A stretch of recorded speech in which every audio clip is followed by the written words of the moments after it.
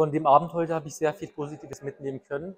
Ähm, der Anlass war vielleicht nicht ganz toll. Ganz, äh, ganz wichtig ist zu sagen, ähm, es sind sehr wichtige Persönlichkeiten hier gewesen, sehr wichtige äh, ja, Eindrücke, die ich dann bekommen konnte aus dem Feld, aus dem Bereich, wo was geleistet wird.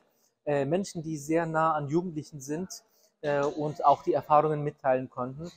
Wir haben natürlich sehr traurige und bedauerliche äh, auch Ereignisse hören dürfen, aber ich glaube, es war ein Kreis, ein, äh, ein Raum, in dem man sich aussprechen konnte. Das Allerwichtigste ist, ähm, in, eine, in einer Zeit, wo man doch sehr vieles beim Sprechen abwiegen muss, äh, muss abwiegen muss, ist es ein ganz schöner Raum gewesen, wo man doch wie eine Therapie, wie in einer Therapie mal sich aussprechen konnte.